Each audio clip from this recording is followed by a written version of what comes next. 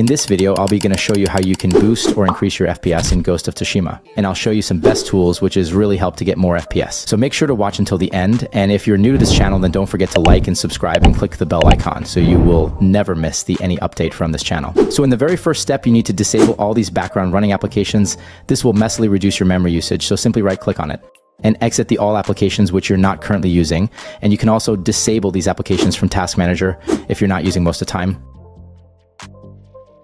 So second step is go to your Windows properties and then go into gaming tab and then click on game bar. Now turn off this. So after you do that, now go back into your gaming tab and click on game mode. Now turn on your game mode. It is helping you to increase your gaming performance.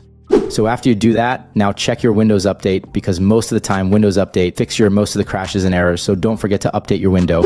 Now third step is go into search bar and now type here system configuration and then click on it. Now go into boot tab and then click on advanced option and then check this number of processors option. Now choose the highest number and then click OK and close the application.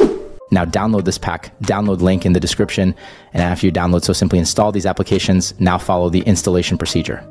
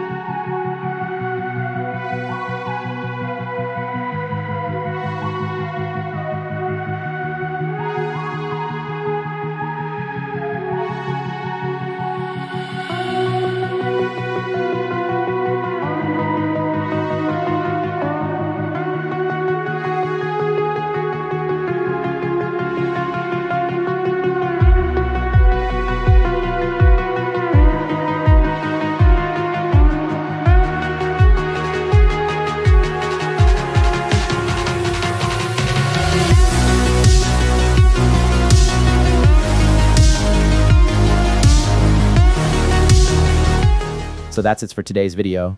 Hope you like it, and if you find it helpful, then don't forget to like and subscribe. I'll catch you to another video. Take care.